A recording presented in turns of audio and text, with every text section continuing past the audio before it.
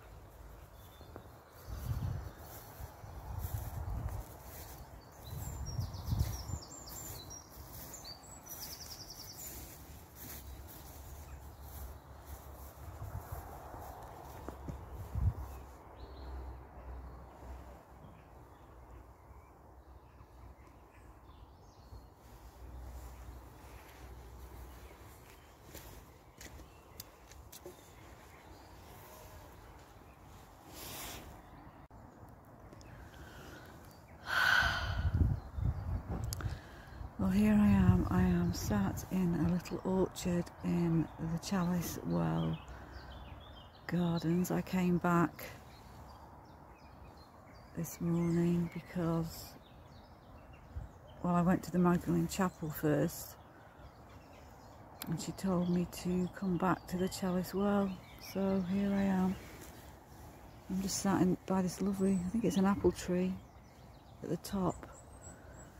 There was quite a bit, quite a bit that I actually missed, so um, I just come back and, and there's not many people here as well today, so it's just really quiet. And I just had the most profound, amazing time in Glastonbury. No words for it really. Just very deeply moving and blessed to have had the experience of the land here and the flowers at the Chalice Well and the waters and everything. It's just blown me away. Quite literally